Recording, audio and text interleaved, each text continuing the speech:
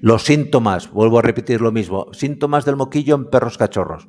Pues en un cachorrín lo, lo que más común vais a ver siempre es que respira de manera muy fatigosa, el animal parece que se ahoga, eso que está intentando respirar, respirar y veis que, que no puede, que, que, le cuesta, que notáis que eso no va ni para adelante ni para atrás, que os da mucha pena, evidentemente, porque sabes que algo grave le está pasando.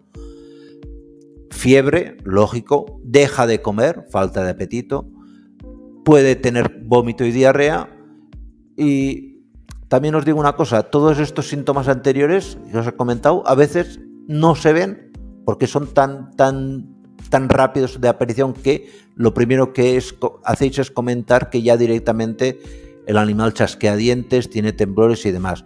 Es eh, cuando el virus moquillo da a un cachorro jovencín, la sintomatología en muy poco tiempo se nos puede acelerar y por eso eh, hablaremos luego de la prevención. Es importantísimo que sepáis o pedirle a vuestro veterinario que se aplique un plan vacunal eh, adecuado en perros adultos y viejos también pueden coger la enfermedad, pero aquí los síntomas eh, ya son un poquito más difusos. Un perro mayor puede coger la enfermedad y podéis notar que en sus almohadillas plantares la, la, piel aparece como más engrosada. Aquí en el hocico, si notáis estas células de aquí arriba, esta córnea por encima del hocico, por donde estoy pasando el cursor, en la parte superior, se nota más engrosada, como si le hubiera salido una costra de piel.